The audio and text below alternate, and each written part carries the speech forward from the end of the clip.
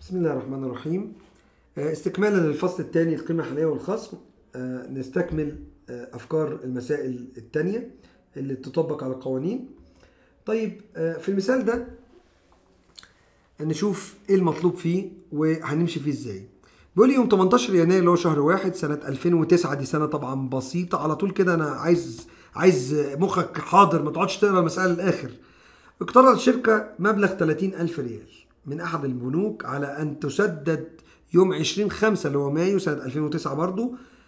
ولكن بقى في 16 مارس اللي هو شهر 3 اتفقت الشركة على سداد 29 ألف ونص. الله ده أنا كنت هسدد 30 يعني القيمة الإسمية اللي كنت هسددها سددت كنت هسدد 30 فده الكلام ده انت لو رحت له في مايو. بس المفاجأة إن أنا كنت واخد الم- المبلغ في يناير إلى مايو. فكنت متفق هسدد 30000 رحت أنا رايح له في مارس بدري مبكر قلت له لا لا أنا هدفع دلوقتي في مارس قال لي خلاص ادفع 29 ونص يبقى بال- بال- بال logic كده بالعقل اداني كام خصم اداني خصم 500 ريال مش محتاجة حفظ قوانين يعني احسب إيه بقى؟ قال لي احسب المعدل الذي استخدمه البنك لتسوية هذا الدين. البنك استخدم معدل كام؟ يعني عايز ال i من الآخر. طيب إمتى؟ لما استخدم مرة بالتجارية سواء ال- الخصم أو القيمة الحالية التجارية ومرة بالخصم والقيمة الحالية الايه؟ الصحيحة. طيب أنا ال- القرض كان يوم 18 واحد ومفروض وسددت فعلا يوم 16 3 وكنت هسدد الاتفاق القديم كان يوم 20 5 كنت هسدد 30000 طب الأول أحسب مدة الخصم يعني إيه مدة الخصم يا شباب؟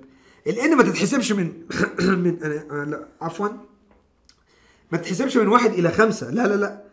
أحسبها من يوم ما جيت لك بدري أحسب مدة الخصم أنا جيت لك بدري قد إيه؟ أنا جيت لك يوم 16 3 وكنت المفروض أجي لك 20 5 يبقى احسب من أول 16 3 إلى 20 5 طب من 16 3 شهر 3 ده 31 يوم. من 16 ل 31 أطرح يعني 31 من 16 فاضل 15 يوم في مارس. جيت لك 15 يوم بدري أهو في مايو و30 في إبريل و20 في مايو. يبقى أنا دي مدة التبكير بتاعتي. جيت لك مبكر 65 يوم. طب هو عايز إيه بقى؟ نرجع كان بيقول لي عايز إيه؟ عايز أحسب المعدل مرة بالتجاري ومرة بالصحيح.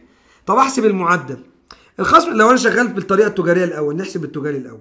الخصم التجاري بيساوي إيه؟ القيمه الإسمية ناقص الحالية التجارية. نترجمها لرموزها بتاع. أدي الخصم التجاري اللي هو إكس أو. يساوي الإسمية اللي كنت هدفعها.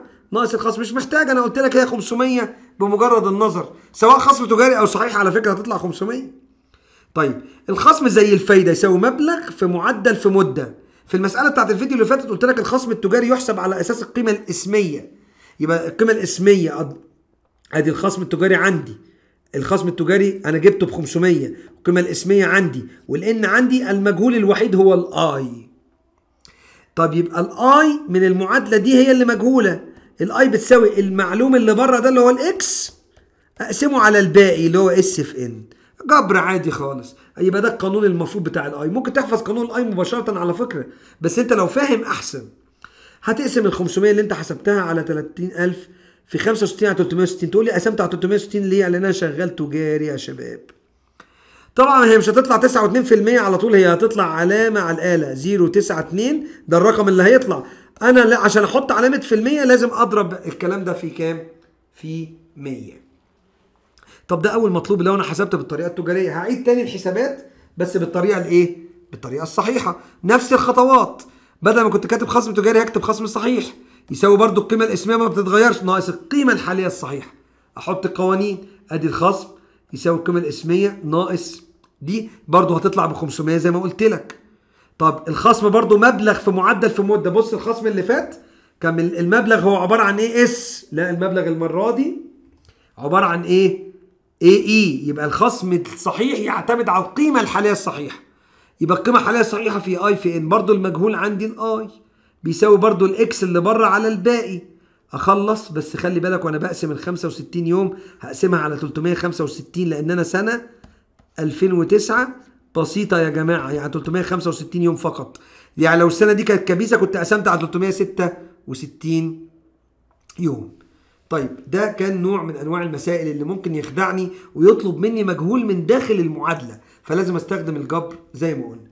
طب كنا شرحنا جزئية اسمها النمر في الفايدة يعني لو أنا عندي عدة مبالغ وعايز أحسب مجموع الفوائد بتاعتهم مرة واحدة فاستخدمت طريقة ظريفة اسمها النمر لما نرجع للفيديوهات السابقة. برضو في الخصم هستخدم إزاي أجيب الخصم لعدة مبالغ إجمالي الخصوم زي ما كنت بجيب إجمالي الفوائد. هستخدم برضو طريقة النمر. ودي سهلة وبسيطة وظريفة جدا وما فيهاش حاجة. نشوف المثال بتاعها. شخص قاعد يعد ديونه كده النهارده قال لك الله ده أنا فاضل لي 40 يوم وأدفع 10000 وعليا 10000 بعد 40 يوم و15000 بعد 60 يوم و20000 بعد 80 يوم و25000 بعد 90 يوم. دي دي الديون اللي عليا.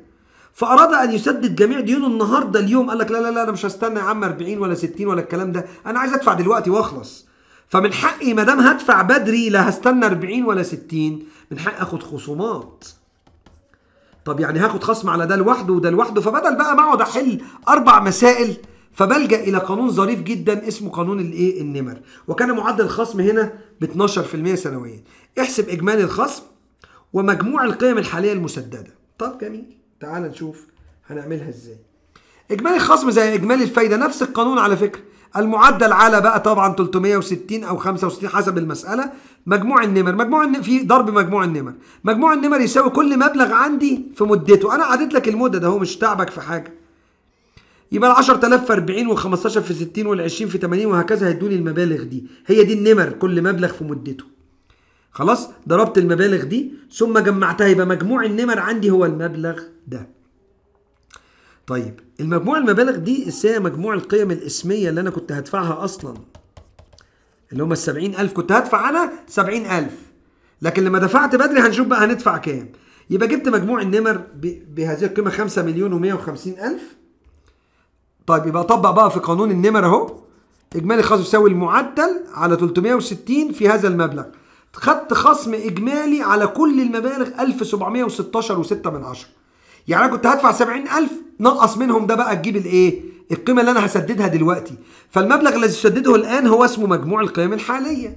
أطرح بقى إيه؟ ال 70000 ناقص ال 1716 يبقى أنا دلوقتي الآن هدفع 68283 يعني أنا كنت هدفع 70000 لما حسبت إجمالي الخصم لقيت نفسي هيخصم لي 1716 و6 من عشرة. أقول آه يعني أنا بدل ما أدفع 70000 أنقص منهم دول مش محتاجة قوانين. يبقى نقول 70000 ناقص الراجل خصمهم لي يبقى أنا أسدد لهذا الرجل 68000 فقط 283 وكسور. وبكده نبقى غطينا الأفكار اللي ممكن تيجي في الوحدة الثانية وهي بس عايزة شوية تدريب وأهم مسألتين فيهم المسألة الأولى والثانيه طبعا طريقة النمر أنت شفتها قبل كده في الفايدة.